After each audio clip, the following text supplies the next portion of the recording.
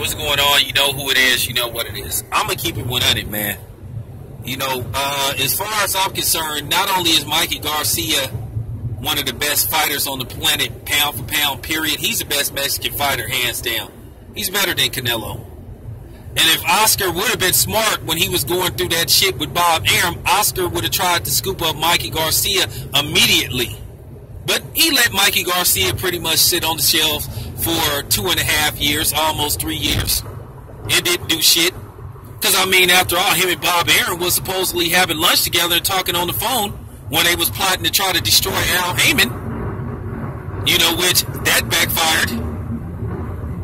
Instead of them sitting up plotting to destroy Al Haymon, maybe they could have worked a deal to where Oscar could have got his hands on Mikey Garcia because if you want to be completely honest, Mikey Garcia is a lot more marketable than Canelo. One, he speaks Spanish and perfect English. You could do more with him. He's more marketable. And he was more likable until he did that Donkey Kong shit. Now, he apologized. Like I said, he apologized. I gave him a pass. I gave him his one pass.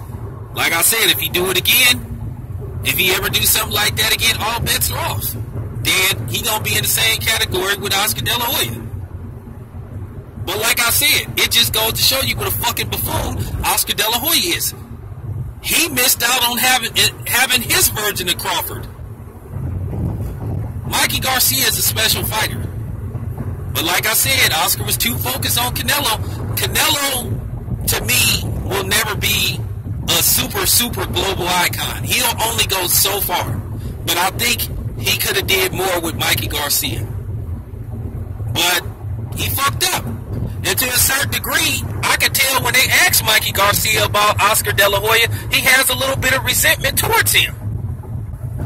He did not look out for his own Mexican brethren. He let that white man, Bob Arum, you know what I'm saying, rob Mikey Garcia uh, pretty much three years of his career. But luckily, Mikey Garcia is bouncing back. So yeah, real talk.